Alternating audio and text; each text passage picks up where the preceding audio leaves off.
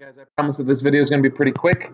Uh, we're doing Unit 5B, Lesson 6, our writing inequalities. Our targets are I can write an inequality to represent the real world situation, and I can explain why my inequality is appropriate for a real world situation. We've talked a lot about defining the variable, about what it is and what it should not be. But this is the first time we're actually going to go through and give you a definition. So defining a variable is explaining in words what the variable represents.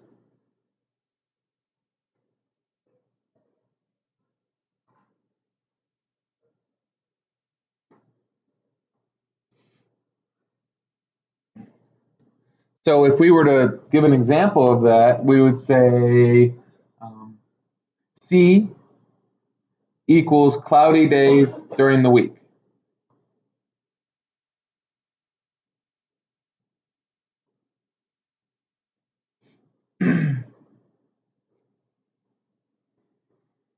Or L equals lost money. Anything along those lines. So it tells you exactly what that variable means. Like, what does it represent? Now, a variable can represent any possible number, but what is that label for that number? What it is not is C equals 5. It's not just a random number. It's not the solution. All right. So what we're going to focus on today is taking our vocabulary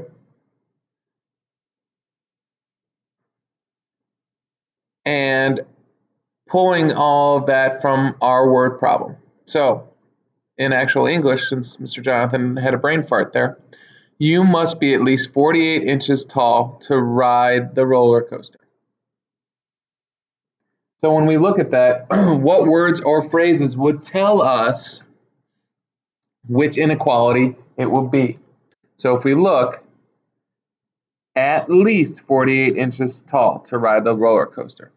So, Mrs. Heisler might not be able to ride that roller coaster, but everyone else above 48 inches will be able to.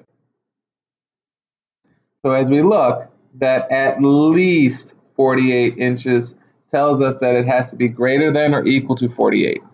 One of the big questions you want to ask yourself is, can it equal that number?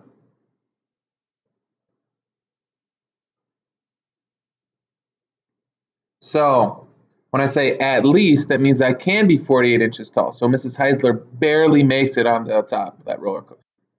So, so you need to be 48 inches or taller. our variable is h equals the height, and our inequality is h is greater than or equal to 48.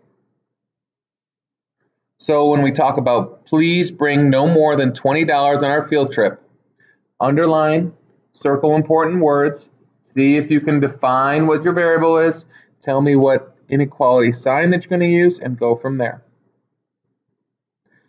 In our words, no more money than $20.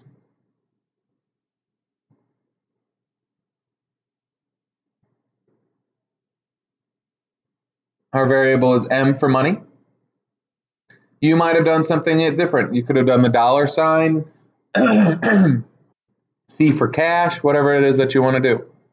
So our inequality is going to be less than or equal to M for money and $20. It can be equal to because it says no more than.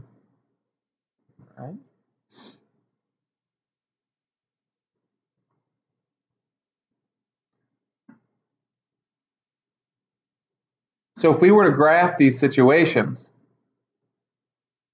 like x is greater than 4, y is less than 10, m is greater than or equal to 15, q is less than or equal to 30, and 5 is less than x.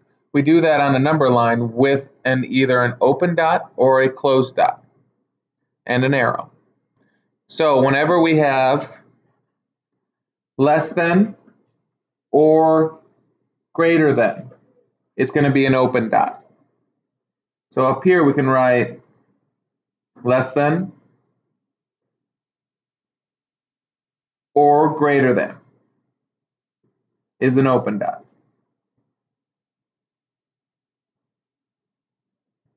Less than or equal to, or greater than or equal to, is a closed dot.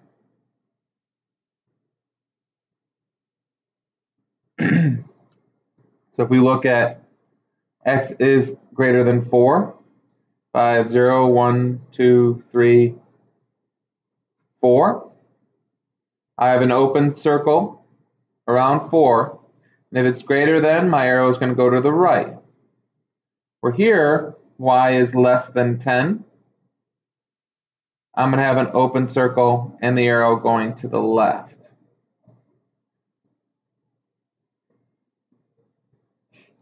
Greater than or equal to or less than or equal to are closed dots.